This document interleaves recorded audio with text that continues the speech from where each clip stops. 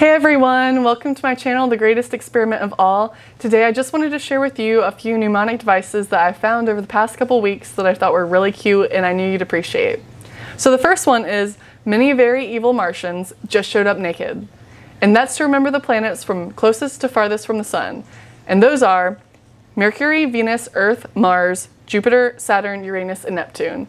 And that was so cute because I could just picture these little tiny green men showing up on Earth and causing quite a stir because, well, they were naked.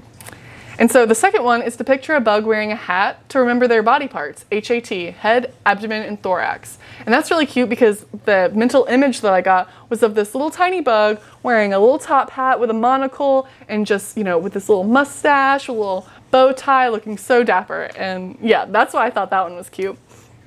And the third is to just say nay to swimming up the world's longest rivers. Nay, of course, because you don't want to do that. I mean, maybe you do, but I, I know I don't. So, uh, nay, N-A-Y, Nile, Amazon, and Yangtze. And so those are it for today. Those are the only three that I found that I thought were extra cute.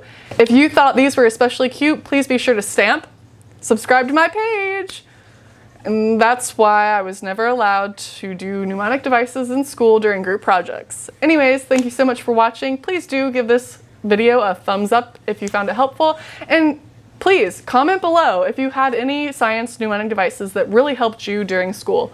And maybe it'll help someone in this audience. I'll see you next time.